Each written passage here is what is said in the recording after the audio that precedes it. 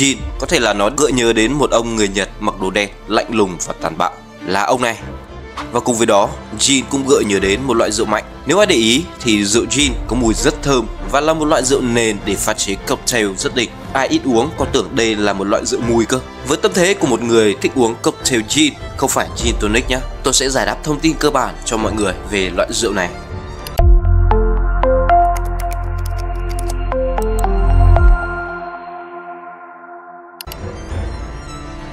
Rượu gin có nguồn gốc ở Hà Lan nhưng lại nổi tiếng ở Anh. Lúc bấy giờ vào thế kỷ thứ 17, đây là một loại rượu thuốc để uống chữa bệnh chứ không phải để pha như bây giờ. Trong thành phần của gin thì phải có quả bách xù, tên khác là quả đỗ tùng.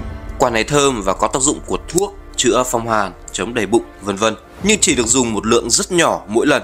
Nghe có vẻ khá giống rượu Anh Túc. Rượu gin mà không có quả bách xù thì người ta không gọi đó là gin Thật vậy, rượu gin được lên men và trưng cất từ ngũ cốc, sau đó thêm vào quả bách xù và các loại thảo mộc khác nhau. Rượu gin có thể được làm ở nhiều nơi khác nhau, nhưng nồng độ phải đạt ít nhất 37,5% và riêng tại Mỹ thì là ít nhất 40%.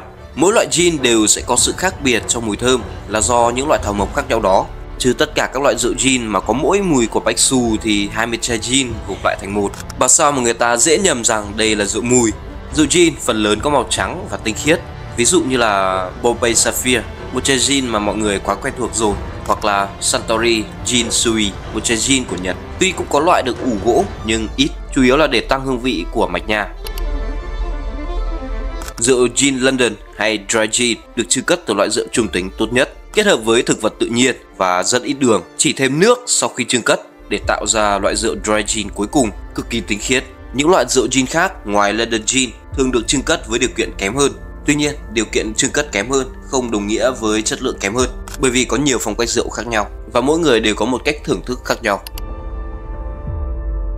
Hương vị của gin sẽ thiên về các mùi của thuốc, trầm ấm của các loại vỏ cam chanh khô, mùi thảo mộc từ các loại hạt và rễ cây. Vì vậy sẽ có nhiều người không thích mùi này. Với cocktail, các bạn có thể thử Bloody Margaret, Christmas Negroni uống vào thời tiết lạnh cực kỳ thích. Trên đây là những thông tin cơ bản về rượu gin. Nếu các bạn thấy hay thì hãy like và theo dõi chúng tôi để xem thêm video về 5 loại rượu mạnh khác nhé.